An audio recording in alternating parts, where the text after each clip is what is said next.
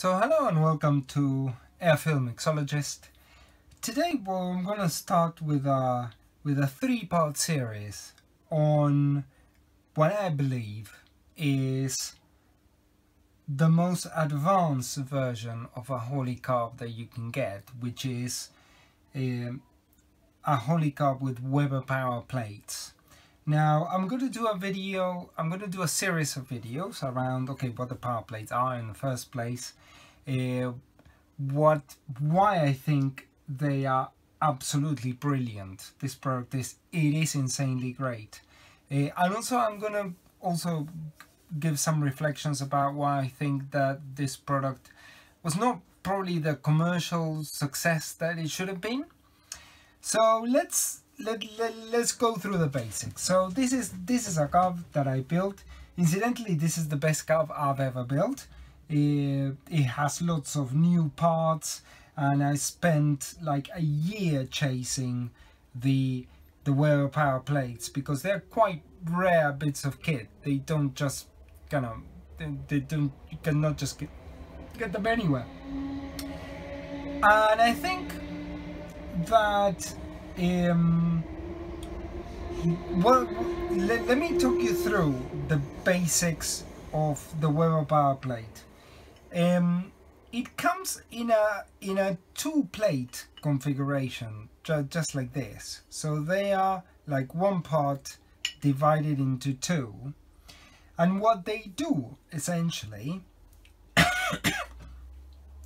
is move the all the jets and the air correction in a place that you can easily access it um, and that um, that increases tunability uh, significantly. Um, I'm going to go into that in, a, in, a, in, another video. Um, the other thing, the other thing it does is that it changes the emulsion characteristics of a Holley carb and makes it into as if it was a Weber carb. So let's let's show you here. It this is this is the emulsion tube and the jets from a normal Weber and you you have the air corrector here anyway so all of this stuff I can I can change very easily in a carb like this and if this was a Holley situation uh, it would take me quite a lot more so what are the basics um but one other thing that I, that I want to say about about this, this the Weber power plates in general is that they are, from an engineering point of view, an extremely high quality item. And you can pick that up if you've been around carbs uh, quite a lot. You can pick that up through the electroplating, so the anodizing that is done um, in these carbs. It's of a very high quality. Whilst I've seen a lot of carbs around that the anodizing is not very good, it wears off immediately. This is this is this is proper, solid, uh, well-made uh, product. So what it is, obviously, because we are adding quite a longer plate, uh, you would obviously need, it uses the normal Holley gaskets on, on these two sides, and the kit comes with a longer screws, and also, if you look at this, this is like a pivot for the accelerator pump. So so that's kind of like the basics uh, of the configuration. So I'll show you here see if you can see it. You have got this is a this a uh, 4150 but you can see the the accelerator pumps how they work having this um, this kind of this arm the bent arm. And basically means that you can use that you can use the normal accelerator but the the normal accelerator pump arms you you can use it as normal.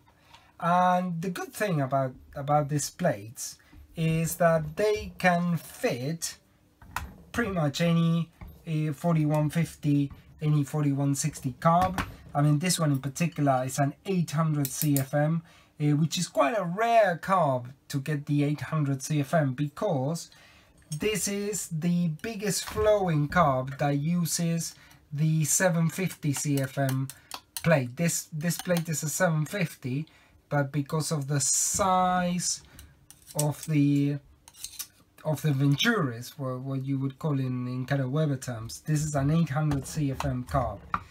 Um, and, and, as, and as I told you, I spent absolutely ages uh, searching for the parts uh, to build this up.